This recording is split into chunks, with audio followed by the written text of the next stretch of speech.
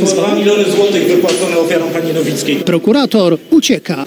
Tej, dobra, w tej kwestii proszę się zwrócić do rzecznika. Do widzenia. To rzadkość, ale prokurator nie zgodziła się na publikację wizerunku.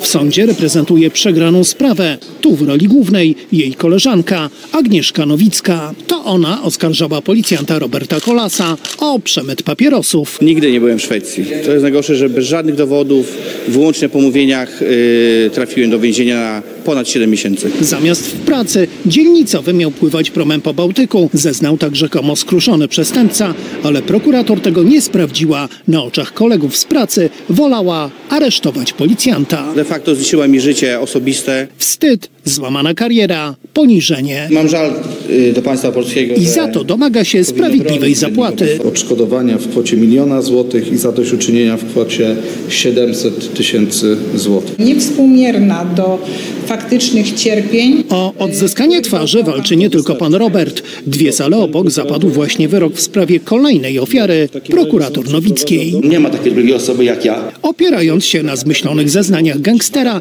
aresztowała go dwa razy, raz na 15 miesięcy. Nie wiem, czy za ten areszt y, tymczasowy ktoś pana przeprosił. Jeżeli nie, to ja wprawdzie nie winny jestem tego aresztowi, ale Skarb Państwa pana przeprasza. Dochodzenia prokurator Nowickiej słono kosztują. W tym jednym przypadku sąd orzekł w sumie 260 tysięcy złotych. To jest dla nas tragedia, nawet dla tych ludzi, dla tych prokuratorów, dla sędziów, dla policji. To się każdy za każdego musi wstydzić. Pan Robert musiał odejść z policji i został rolnikiem. 8 lat czekam na, na sprawiedliwość. Pani nazywa to drobnym błędem? Ja nie powiedziałam e, o żadnym drobnym błędzie. Powiedziałam tylko o sytuacji takiej, że mówi pan o tym, że prokuratorze nie jest w ogóle wstyd. Ale za co?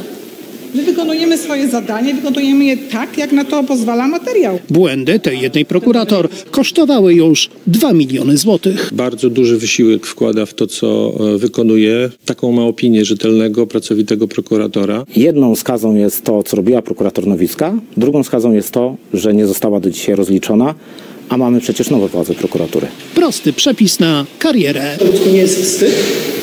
Wstyd? Dlaczego? Nie ma dnia, żebym o, tym, o tej sprawie Ja, obywatel Rzeczypospolitej Polskiej, świadom podejmowanych obowiązków policjanta,